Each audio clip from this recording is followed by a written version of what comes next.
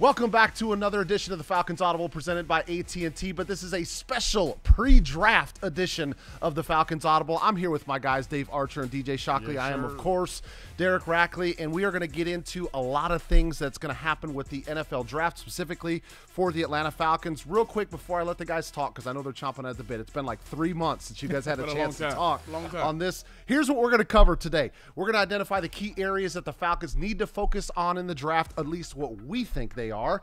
We're going to actually talk about who the Falcons take at number eight, our opinions once again. We're going to take a look back at Falcons free agency, see where Atlanta tried to improve their roster, get the guys' take on where they feel like those guys potentially fit in to the 2022 action on the field. And then we're going to take a little dive into a sleeper pick, somebody that may not be your regular household name that Atlanta could pick up in maybe the third, fourth, fifth, sixth, seventh round that could potentially impact the Falcons roster and their play on the field in 2022. So, without further ado, DJ, how are you, man? Hey, Rack, what's, What's up, man? I up? ain't seen y'all in a minute, man. I I'm know. so good to see y'all, man. Glad Excited- to be back, baby. I see you every night. You come to my house every night. He's a guest in my house after 11 o'clock every that. night. DJ has not just been football. He has been NASCAR. He has been golf, baseball, basketball, you name it. It's been fun, man. It's been fun, but I'm glad to be back with y'all, Doing a man. hell of a job, boys, dude. man. Doing a hell of a Arch, how are you with your? I mean, we know you are in full mode here. He's got the binder. I feel he is bad. ready to I flip feel- pages. I thought I was trying to consolidate with my little uh my little notebook here. Archie's got a whole binder with the whole entire league in it. I feel bad. Well, Shock, you know how it is. I, you, you know, you set a bar about five, six years ago doing this, and I,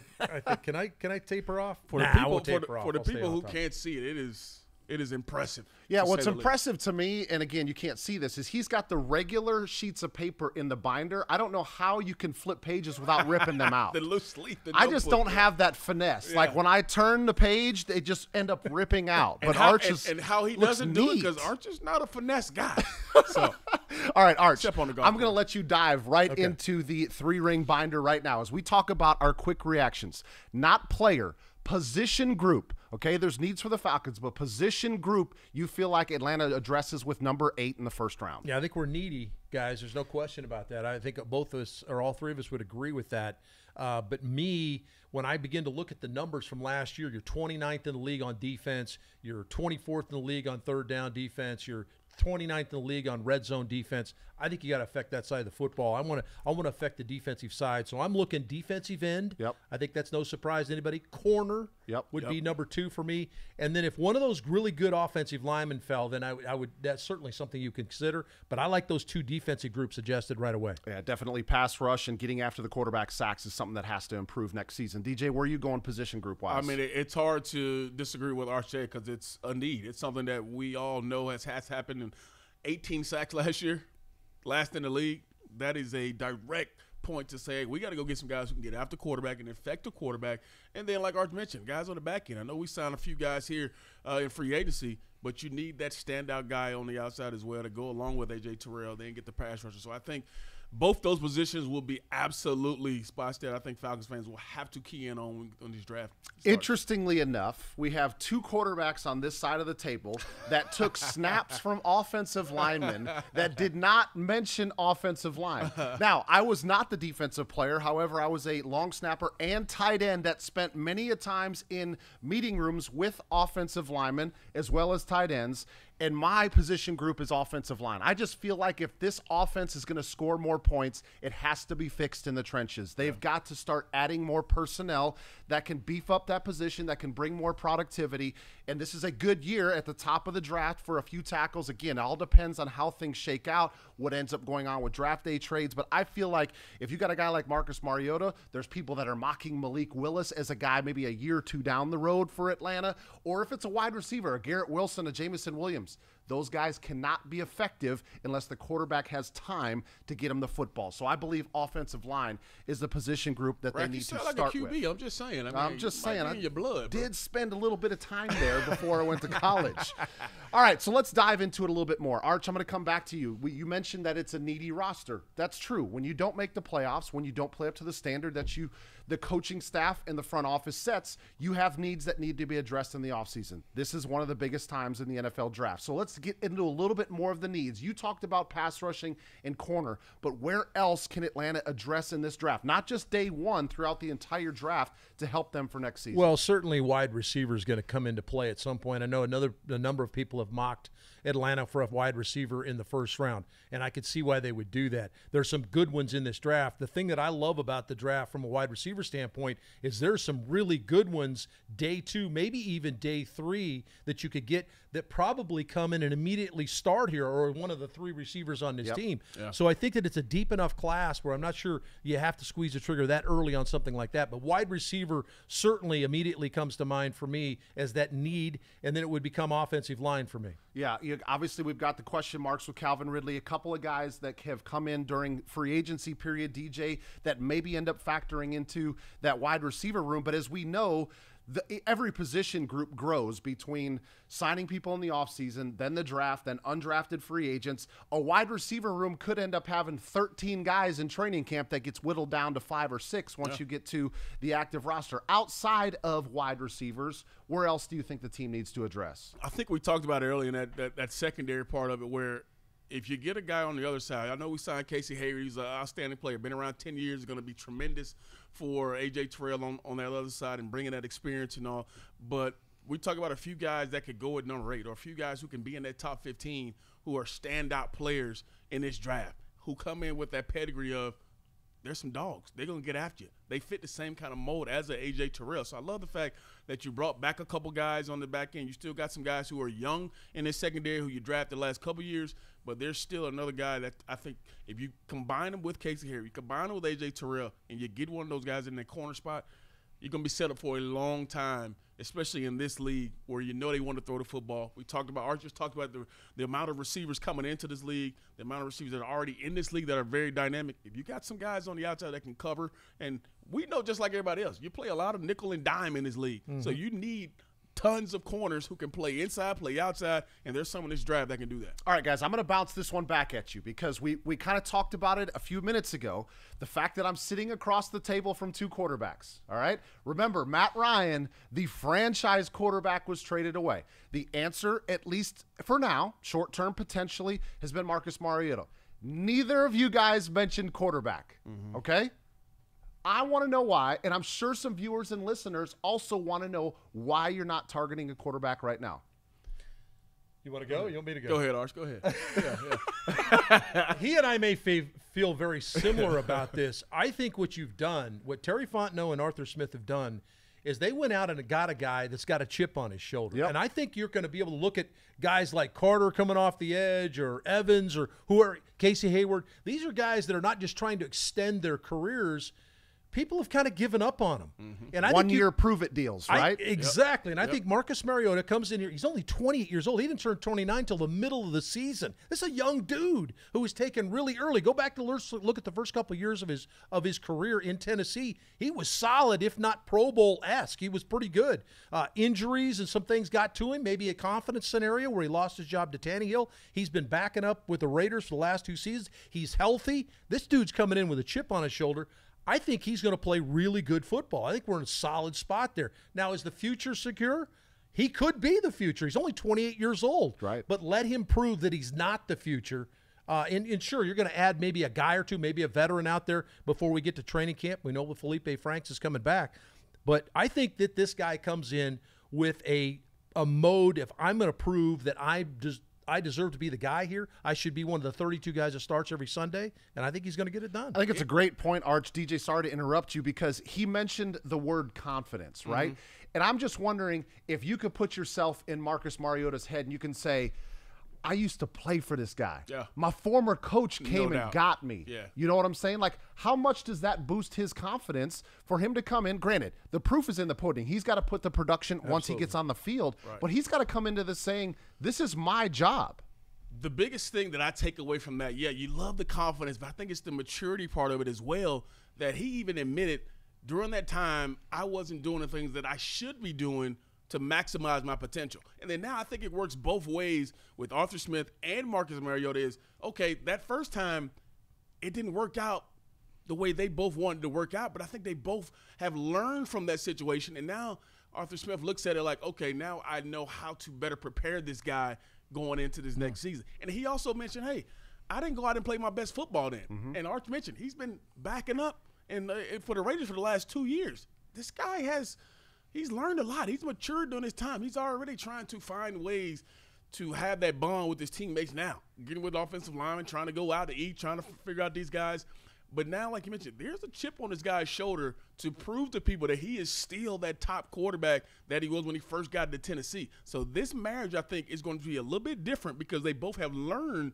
Okay, here's a different couple ways that we can expand the things that he can do well. And now he comes into a situation that he wants to prove it even more. Yeah, and you guys say second chances. The NFL is known for second chances at the quarterback position. Think of guys like Alex Smith, Mm-hmm. Jared Goff, even a guy like Ryan Fitzpatrick. I mean, he's probably gotten 17 second chances, but he's stayed in the league I mean, and about he's been able Tannehill? exactly I mean, I mean, Tannehill as well. Unbelievable. Um, so those are uh, uh, great points. I just wanted to hear from our quarterbacks as to why quarterback was not a little bit more of the discussion. I think it's a great explanation. Before we wrap this up, DJ, let's make this another quick hitter. We talked about the needs. I want you to rank the needs. So one, two, one, two, three, one, two, three, four, whatever it is.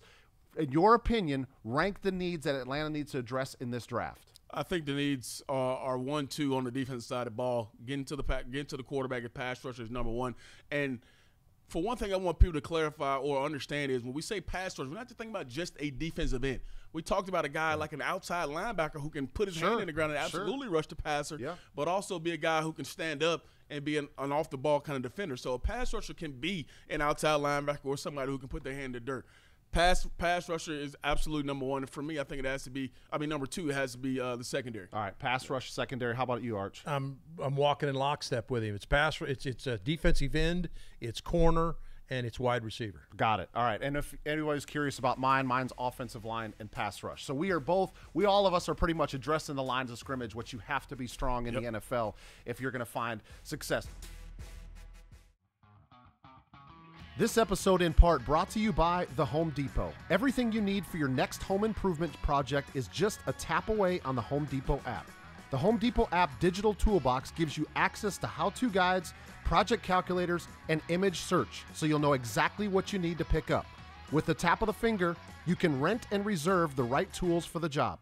Also, browse through millions of items from top brands that you can have delivered right to your door. Whatever your project, find exactly what you need with the Home Depot app. Download the Home Depot app today. All right, we're going to dive into actual selections. All right, this is the um, Falcons Audible presented by AT&T. You are now on the clock, Dave Archer. We need your selection. Who are you picking at number eight in the 2022 Why NFL you make draft? that face? Why you make that face? Well, it, it, it, this is going to be one of those hedge type. Op- this is where you're put completely in the microscope, right? Okay, I think three edge rushers are going to come off the board before Atlanta gets to pick, and I think because of that. The top ranked corner is going to be sitting there, mm. and I'm going a little. I'm going to put a little sauce on the defense. I'm going Sauce Gardner at 6'3", Saucy. 190, a guy that loves to play physical. He's an up in your face guy. He can play both zone and bump and run man to man. Watch this guy tackle. He's got a little nastiness about him, uh, but he's got great size, got tremendous ball skills. In his three years at, at uh, Cincinnati, eight interceptions. He's a guy that's taken it to the house on interceptions. This is a guy that would be a great compliment. No offense to Casey Hayward. I think Hayward will come in here, be a great veteran influence on anybody that's in that room. But I think you got those. You got AJ Terrell and Sauce Gardner side by side with one another. I like the way that looks. Yeah, I don't think you have to apologize to anybody. You get somebody like uh, Sauce Gardner, that's like your future out on the outside as a pillar. And I mentioned this back a few months ago. I got a chance to call the Cincinnati SMU game, which was like late in the season, right? SMU came into Cincinnati, he was ranked. That was one of the teams that could potentially knock off Cincinnati. So I start reading in preparation for the game, and all I'm seeing is about is Sauce Gardner doesn't give up a touchdown. Sauce Gardner, this, that, and the other. yeah. And I started watching tape on it, and I was like, this dude is for real. Yeah, and then just watch his ascent and his name going to be called in the first round of the NFL draft. To back up what you just said, 159 coverage snaps. Mm-hmm. Zero touchdowns. touchdowns given up. There you go. Is that a guy you'd like to have on your roster? All right, DJ, you are now on the clock. Do you want me to stall a little bit so you can? I mean, notes. because I'm- you got I'm- these crumpled up notes. Well, see, I went back because I wanted to see more of this this Sauce Gardner, some more crazy stats he had. I mean, targeted 30 times this year, 60 yards total. How'd you give him 60 yards total throughout a year? I mean, it's he's an unbelievable player. Sorry, go ahead, Rex. Sorry. sorry. No, okay, so we're gonna try it again. All right, so that is um, Dave Archer has Sauce Gardner going to the Atlanta Falcons. Now Right. it's your turn. Who is Okay. going to the Atlanta Falcons at number eight in a 2022 NFL draft? It's tough because I've waffled back and forth with this pick, and one of them is an offensive guy, one is a defensive guy, and because of what my man Dave Archer just said, three are going to be gone from that defensive end spot, and I think we have talked and stressed that we need somebody to rush the passer. Why not go get the ACC Defensive Player of the Year, Yes. who had 12 sacks, 22 tackles for loss this year, transferred from Georgia, couldn't get on the field, comes to Florida State and dominates. And Jermaine Johnson, I mean, he would be an unbelievable pick, I think, right there at eight, and brings immediate impact to that off to that defensive line and gives you so much versatility. I mean, this guy has a quick first step, does an awesome job of getting up. I mean, he plays the run really well. There's not many things that you can dislike about this guy, so I would love to see him in this red and black. Iron Man guy too. It's a great selection by Shock, former dog that got his opportunity, as, as Shock said, down at Florida State, 12 sacks this year. Iron Man too, 60 snaps a game he mm-hmm. played at Florida State. He wasn't coming off the field. He stayed out there and played. Not only does that show that he's an every down player, but it shows what the NFL wants to see durability. No doubt. A guy that's going to be on the field because one of those high draft picks that spends his career in a training room Don't help him. doesn't really get you any better as a football team. If anybody's curious, my selection at number eight, I'm Who going to we go got, with Rack? Ickey Ekwonu from NC State. I told you I'm one. addressing the offensive Good line. one. This now, here's what I will tell you this from from some of the stuff that I got a chance to watch on him.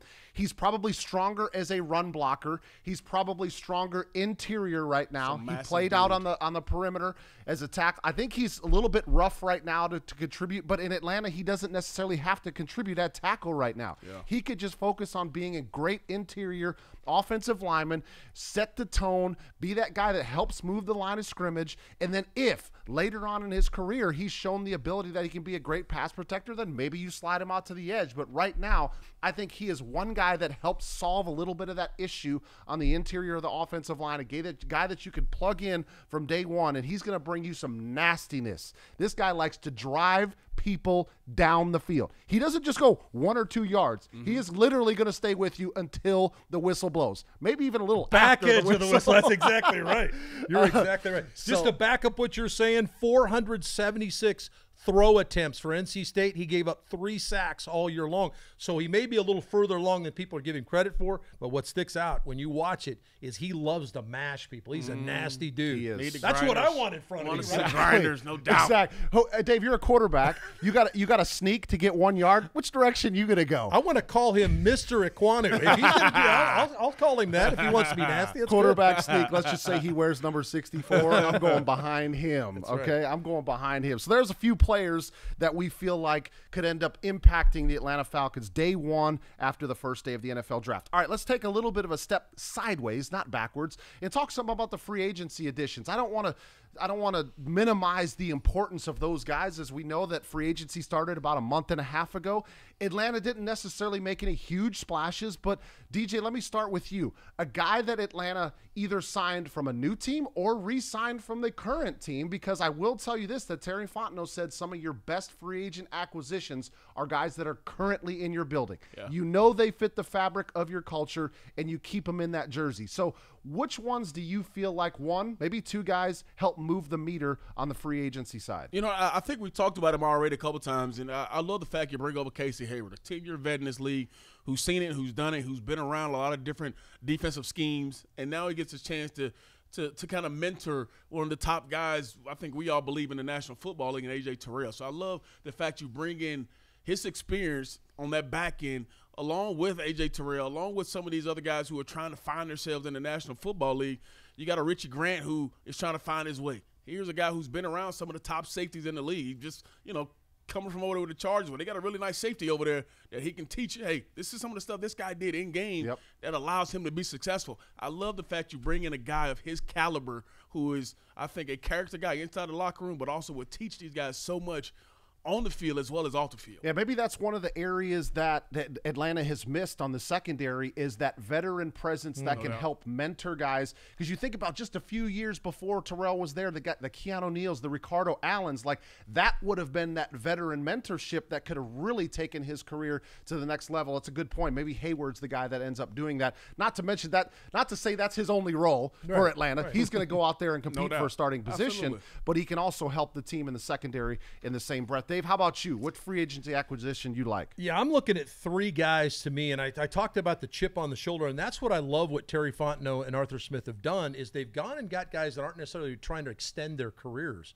They've got they're going to get guys that maybe didn't quite get their shake wherever they were, but they've got a chip on their shoulder to say I belong in this league and I belong at the highest possible level. It starts with Marcus Mariota. I think that that's an outstanding hi- hire at the at the quarterback position. I think Damiere Byrd is another guy that mm-hmm. has speed, that can catch the rock. Was in Chicago, mm-hmm. knows this system. He's going to come in immediately, fit in and play. He's got some speed, and he's a guy that really kind of in the mix of kind of getting caught up in numbers, he might have an opportunity here to step into the stardom. And the, my number one guy is Lorenzo Carter. Okay. How about the Yep. number? How about bringing the dog back home? He's excited as he can be to be back in Georgia. He's going to come off the edge. We need edge pressure. I think look for Lorenzo Carter to be a pretty good addition. Yeah, as well. Carter was his classic example of somebody that did not throw up great numbers at his previous stop, but he's got the ability. Everybody's talking about his ability, mm-hmm. and if he gets in the right position, the right system, that he could take off. I mean, it could be a guy that pushes close to double digit sacks, which. I mean, would you say that they had last year? 18. 18. Yeah. Double digit from one guy would be pretty, be pretty good. Nice. So they talked about a couple of new faces. I'm just going to mention to me what I thought were a couple of guys that are sticking around were great moves. No, how about Younghoe Koo? I mean, the guy that was the, deal. No probably the most automatic player. teams guy gets Yeah. kicked. Special teams player, special teams guy. player here. Okay, y'all weren't laughing at all the points he scored for Atlanta last year, though. No, Let we me were just say not. that. All right, and then Cordarrelle Patterson. I mean, we talked about this Yeah. one at the end of the season, guys, and it was like we felt it was a no-brainer. He said that he wanted to stay here. He wanted to play here. And if you are a head coach and a general manager, and you got a guy that impacted your team in such a positive way last year, and he came out right away and said, "I want to be on this team." Yes, he did.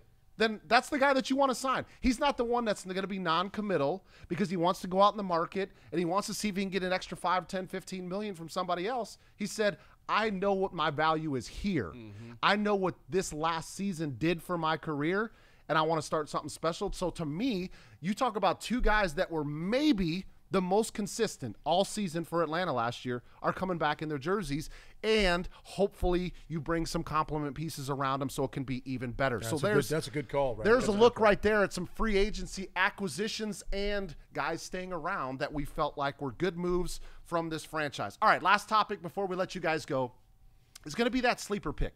Everyone in NFL circles will tell you the guys that you draft late in rounds, even undrafted guys that come in and make an impact, kind of define your tenure, tenure, especially in the front office, right? If you're Terry Fontenot, you find a guy in the sixth round that comes in and he starts and he ends up being a Pro Bowler, you dominated the draft, right? Because the value that you got. So maybe not sixth round, Dave, but let me start with you.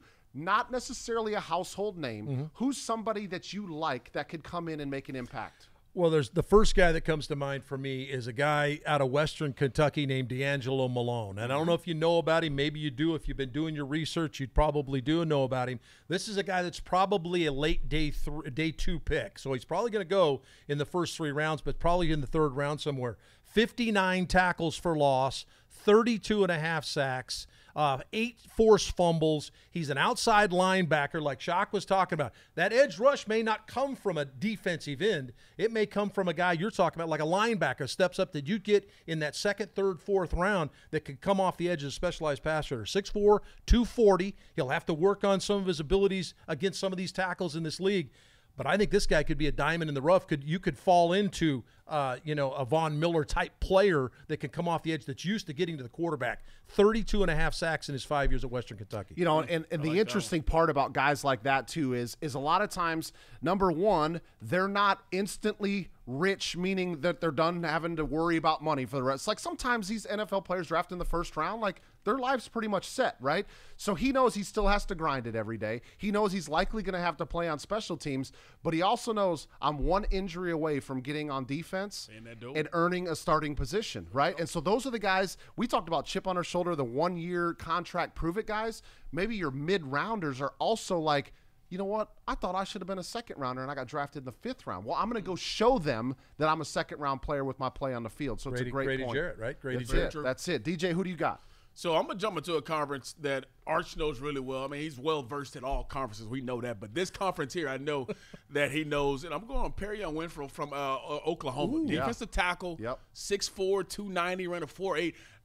And I'm gonna be honest, I didn't see much of him during the season. Just didn't watch a lot of Oklahoma. But I started watching him at the Senior Bowl, and he started to stick out for me. He ended up being a Senior Bowl MVP. He's got an 86 inch wingspan, which if he gets drafted with the third longest wingspan in NFL history, that's pretty cool to have to be that long. But this is a guy that that you can love, can put his finger in the dirt, is a tough physical guy, can get upfield and really be a master on the inside. Guys, we always talk about getting edge rush from the outside. How about pushing the middle of the pocket? Me and Arch hate from the middle of the pocket to be collapsed on us. He's one of those type of guys I think could be that kind of guy. Whether he goes third, fourth, fifth round, we don't know. But he's one of those guys I think that you got to keep your eye on. He could be a, a big physical guy on that inside that can help you. yeah, the, the interesting thing is is I always kind of make this joke, and, and and I think it's true, but you know I would say Big Twelve where defense is optional because there's always so many sports Yeah. uh, you know points scored, but you still see a lot of really good individual players that come out of the Big Twelve and they end up making a huge impact, and maybe Winfrey is one of those guys. I know you're right. The defense has improved, and hopefully it will for in Oklahoma.